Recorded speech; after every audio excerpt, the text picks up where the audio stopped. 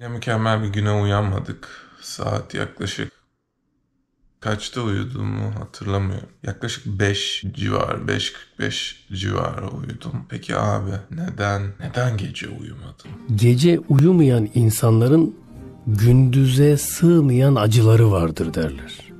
İçinizde öyleleri de varsa sabır dilerim. Benim yaprağımda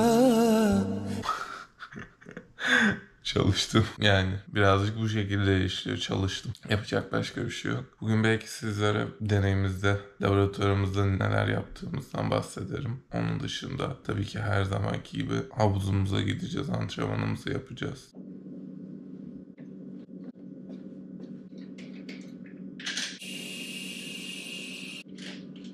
Birilerinin de bu vitamini alması gerek her sabah.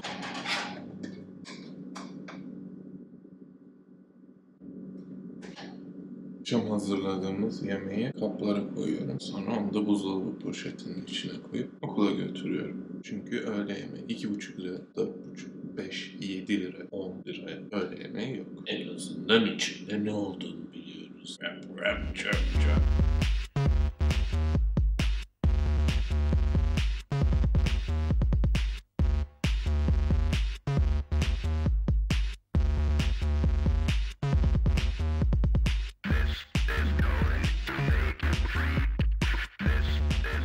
Günün en sevdiğimiz kısmına doğru gidiyoruz. Çalışmayacağımız, üzerimize düşeni yapmayacağımız kısım. Bu Allah'ın belası yolu. Neredeyse her hafta içi sabah olduğu gibi yürüyoruz. Birbirimize meme uçlarımızı göstereceğimiz o inanılmaz kuruluşa gideceğiz. Soyunma odasına gireceğiz. Her şeyimizi aldık. Ben isterdi ki bu inanılmaz insanlardan olabilseydik. Her gün gelen, sabah erkenden gelebilen, antrenmanını yapabilen. Ama değiliz bilinmesi gereken bir şey var ki asla havuzdan önce duş alınmaz. Alan enayidir. Havuzda yüzen insanlar var. Ne yazık ki bu bedava aldığımız hizmetlerden biri değil.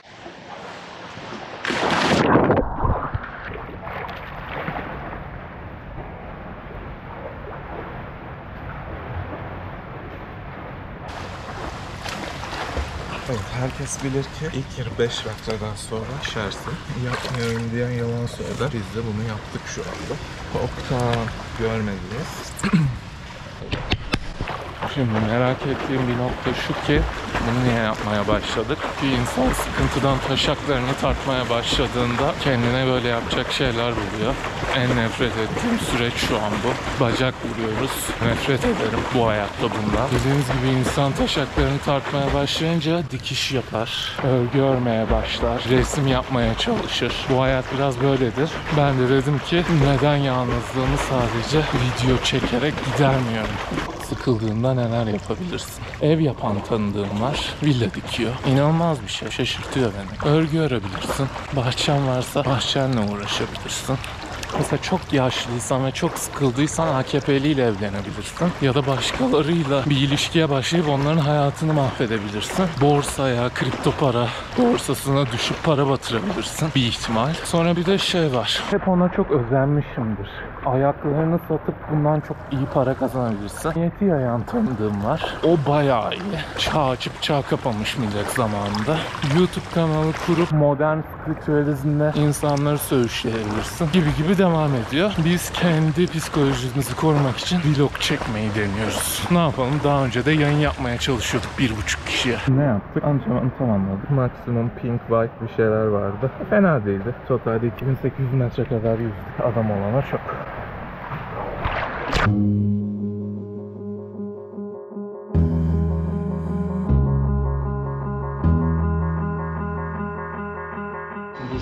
Glowbox deniyor. Yani eldiven kutusu. İçerisinde argon atmosferi var. Genel olarak hava ve nemle reaksiyona girmesini istemediğimiz herhangi bir kimyasal, herhangi bir ürün kutu içerisinde tutuyoruz. Bu şekilde çalışıyor. Havalı bir şey değil yani o kadar. Burada şu anda önceki deneyden kalmış olan kalıntıları temizlemeye çalışıyorum. Paslanmaz çelik bir altlığımız var. Onun üzerinde deneylerde kullandığımız kaynak yönteminden dolayı bazen bazı parçacıklar kalabiliyor. Onu kaba bir zımparayla, kum zımparasıyla temizleyerek gidermeye çalışıyorum. Bu işlem bittikten sonra onun üzerine birkaç tane paslanmaz çelik plakayı tekrar kaynatacağım. Bu aşamada o bahsettiğim plakaları altlığın üzerine kaynatmaya başlıyorum. Birkaç plaka üst üste yapacağım çünkü getirmek istediğim bir seviye var numuneleri. Daha sonra bu işlem bittikten sonra da kullandığımız batarya elektrotlarını paslanmaz çelik plakaların üzerine tekrar kaynatacağım. Bu yönteme spot welding deniyor.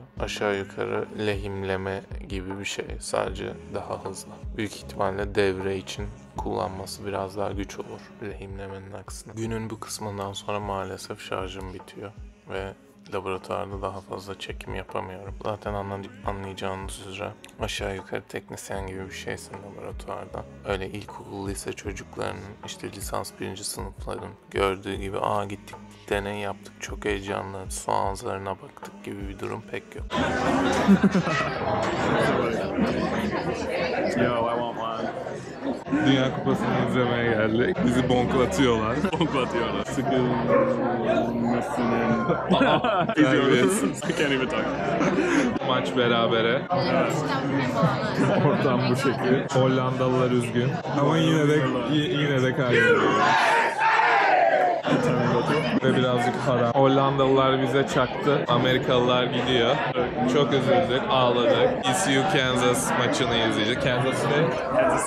Büyük 12 maçı. Büyük 12 maçını 12 izleyeceğiz. konferansı. Büyük 12 konferansı. Evet yine bedava yemek bulduk. Evet. Keşke Atik burada olsaydı. Evet, Atik e, olmalıydı. Atik burada olmalıydı. Bayılırdım. Süper Dünya Kupası eğlencemizden evimize geldik.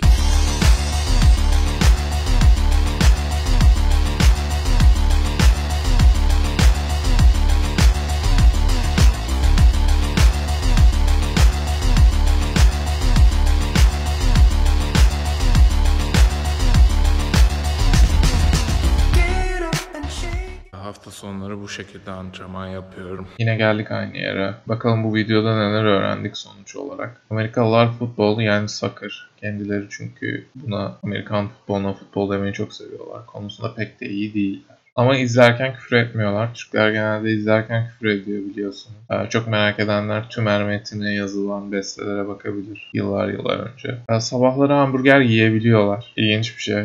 Neden bilmiyoruz. Kokoreç satmıyorlar. Sorduk. Kokoreç varsa alırız dedik. Satmadıklarını söylediler. Eğer satamıyorlarsa ve sonunda ellerinde pankek kreması kaldıysa bedava verebiliyorlar pişirdikleri pankeki. Bu iyi bir şey. Sabahları da bira içebiliyorlar ama Türklerin düşündüğü gibi her sabah bira içen Alman değil. Geçen videoda unutmuşum. Abone olmayı lütfen unutmayın. Bir de çan var. O biraz ilginç bir şey. O çıkmış aklımdan çünkü ben kimsenin çanına basmıyorum genelde izlediğim. Çana basarsanız şöyle köşede büyük ihtimalle bir bildirim çıkar. Oradan keyifle takip edebilirsiniz. Ne kadar keyifli bilmiyorum. Instagram'dan takip etmeyi unutmayın. YouTube'dan da abone olmayı unutmayın. Öpüyorum.